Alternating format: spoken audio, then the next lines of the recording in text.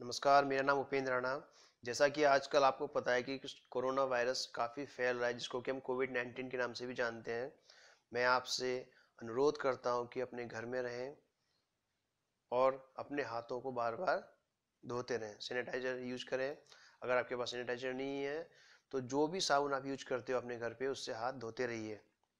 अगर आपको सर्दी, खांसी, जुकाम वगैरह है तो आप रूमाल का इस्तेमाल ज़रूर करें, चीखते समय, खांसते समय। वैसे तो हम पहले भी करते थे, लेकिन अब क्या है कि हमें सतर्कता ज़्यादा बरतनी है। और अगर आप किसी से बात करते हैं तो कृपया करके एक मीटर से ज़्यादा की दूरी बनाए रखें। सोशल डिस्टेंसिंग का ध्यान रखें आप। तो इन सब चीज़ों को आप ध्यान रखोगे तो आपके साथ साथ आपके परिवार, आपके जानने वाले, आपका शहर सब बचा रहेगा। साथ ही साथ हमें खबरों को भी सैनिटाइज करना चाहिए, क्योंकि जैसे कि मेरे पास काफ़ी व्हाट्सएप मैसेजेस आ रहे हैं।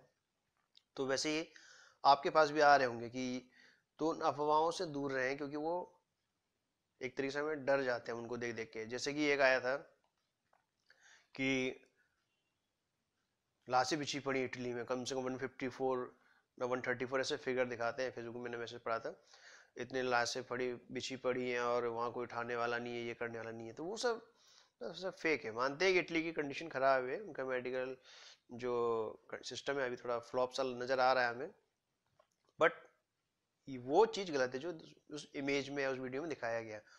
वो एक दो हज़ार ग्यारह बारह में एक मूवी आई थी, उसका सीन है। कंटीजन नाम से एक मूवी आई थी, उसका सीन है वो, जो कि आप नेट पे देख भी सकते हैं। तो अगर आपको इस टाइप की अगर कोई मैसेज भेजता है तो उसको रिवर्ट करिए कि, कृपया करके बंद करिए। ये फेक खबर है।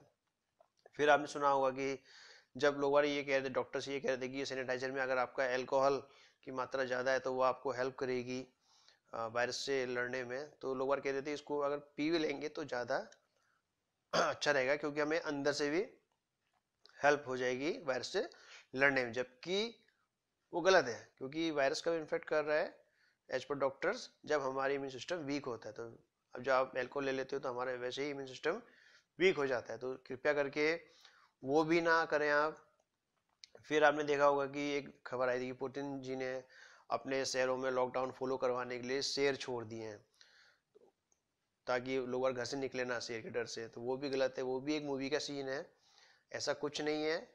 बस हमें स्वयं ये समझना है कि हमें लॉकडाउन फॉलो करना है उसका बेनिफिट आगे क्या होगा। ऐसा ना हो कि अभी 21 दिन का लॉकडाउन है, कल को फिर ये बढ़ जाए।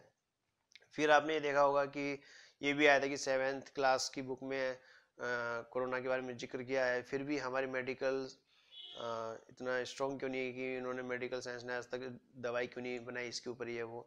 अब ये बता दी कि जो क्लास सेवन की बुक में था, वो नॉर्मल जो जुकाम, खांसी वाली कोरोना की ज़िक्र हो रही है, ना कि कोविड नाइन्टीन की, ये बहुत स्ट्रॉन्ग है तो हमें इससे बचना चाहिए। तो आप सभी से फिर से मैं गुजारिश करता हूँ, घर पर रहिए सेफ़ रहेंगे आप लोग। और अफवाहों को भी सैनिटाइज करते रहिए। धन्यवाद। आप देख रहे हैं सक्षम न्यूज़ इंडिया। सबसे पहले, सबसे तेज।